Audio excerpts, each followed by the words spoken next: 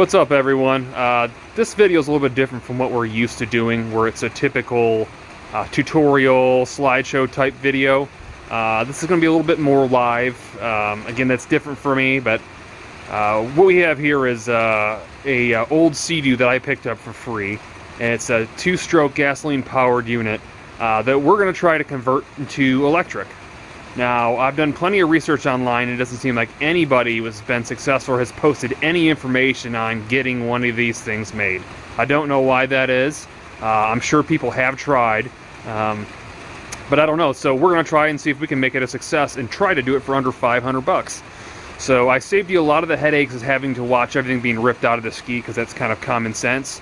Uh, but I'll show you what we have at this point. The fuel tank and oil tank all have been removed.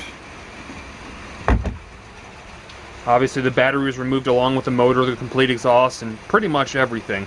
Uh, what we're going to be shooting for here is where the fuel tank was over here. We're going to be running a 48 volt electric system, and so I'm going to put uh, basically a series of four different 12 volt batteries aligned where the fuel tank was.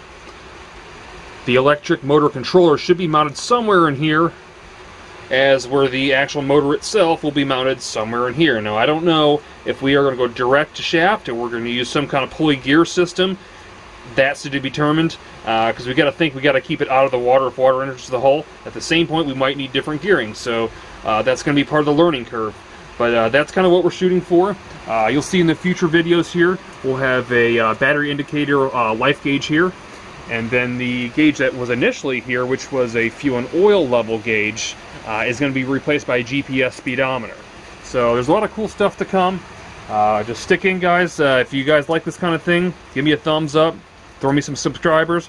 I'm going to try to keep making these things work, and uh, thanks again.